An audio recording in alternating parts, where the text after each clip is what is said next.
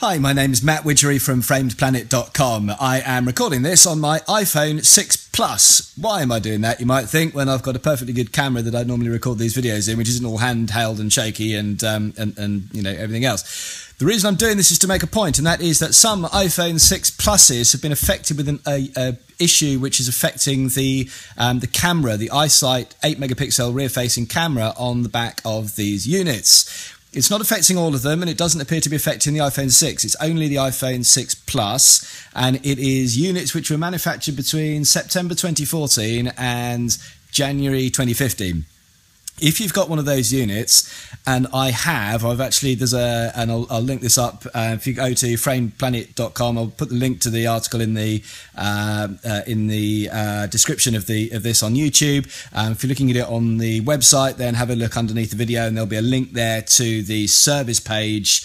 Um, that you can put your serial number in and check if your camera is one of the ones that's affected. My one was, um, so I've got to go and get a part replaced. What's happening is that the, the, the, the camera, in some cases, is um, there's a part in there which is failing, which is making the pictures blurry. So I can only assume that that is either something to do with the focusing system, uh, or it is um, something to do maybe with a part getting dislodged and the lens is, is moving out of uh, out of position, and maybe that or the sensor maybe could be being moved out of position. That's making the thing go blurry.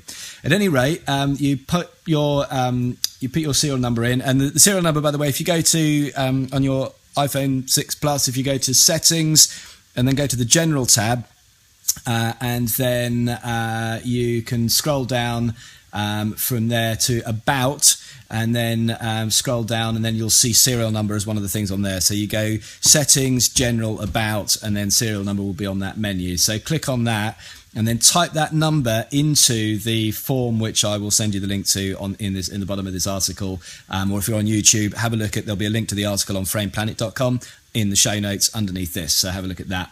Um, what it then says is that there's three choices. If yours is one of the ones that's affected, you've got a you've got three choices available to you. Um, you can either um, find uh, an authorized, an Apple authorized service provider, and you can take it there, um, or you can make an appointment with an Apple retail store, and there's a, a, click that you can actually make an appointment online. There's a click through for that, um, or you can contact Apple technical support. And again, all these have um, little buttons, so you can you can click on there, and that tells you how to do that. So it should be fairly straightforward. Um, it does say that the wireless uh, carrier providers are not taking part in this, so don't take it back to where you got your phone from if it wasn't from Apple, the Apple Store. If you got it from a provider, um, you know, if it was um, Vodafone or um, you know Three or whatever in the UK or Verizon or whatever if you're in the States, um, don't take it back there. Only take it back to the um, to, to Apple directly, and they're doing it direct. Um, and then it also says that you need to back up your data to iTunes or the iCloud um, before the replacement process, just so that your data is secure. I don't know exactly what they're going to do other than replace the unit. I guess they're just being super cautious on that. They don't want to lose any data, so make sure you've done that. Um, the other sort of warning note they put on there is that if you have um, any damage on the phone which could affect the camera, which impairs camera replacement, is what they're saying, um, then um, you will need to resolve that issue prior to the um, the repair being done. So if, if the if the screen is cracked, um, they're saying, um, then that will need to be sorted out first. You'll need to get that replaced, and in some cases there might be a, a, cost associated with that. If they've got to replace the screen to get to the camera underneath it, um, they're not going to be sort of picking out broken glass and what have you, and then putting all that back. So you're going to need to basically pay for a screen to get that resolved. That's what they're saying there. so bear that in mind as well.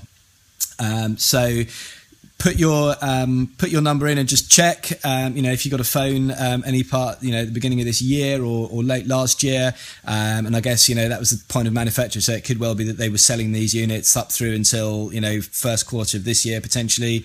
Um, I think that's when I got mine. Actually, I, I, I can't remember exactly when when I got this phone, but I believe it was probably you know March maybe something like that of, of, of this year. So obviously this is one that had been manufactured during that time frame um, and was just you know it was then in shipping or whatever and then um, and then in a warehouse somewhere before it got out to me. So it was one of that batch So even if you think that you had a, phone which you bought much more recently than that, um, just be aware that it could still be an affected unit and it's worth checking. So that's all I've got to say on that one. I thought I'd just give you that little bit of a heads up, um, and uh, hopefully your phones are not affected, but if they are, that's how you get them sorted, and Apple will sort the camera out for you. So that's it. Thanks very much for watching. If you appreciated this video, heads up, please give me a subscribe if you're watching this on YouTube by uh, clicking the big red button that says subscribe on it underneath this video.